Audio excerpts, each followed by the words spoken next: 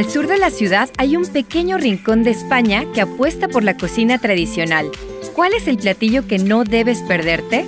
Yo soy hijo de asturianos y este pues la gran mayoría de lo que cocinamos aquí fue lo que yo comía a diario en la casa de ustedes. Que no te dé pena ordenar los cojonudos, uno de los montaditos más famosos.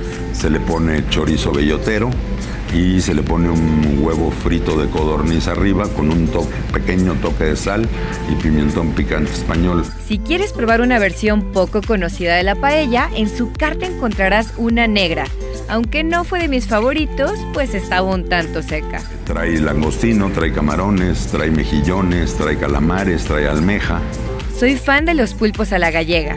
Su sazón y la pequeña cazuela de barro me recordaron los que hacía mi padre cuando era niña. Para el postre, probé el primo del creme brûlée, una suave mezcla de huevo y leche cubierta por una crujiente lámina de azúcar. Y es muy agradable romper la capa de azúcar junto con la crema catalana, es agradable al paladar.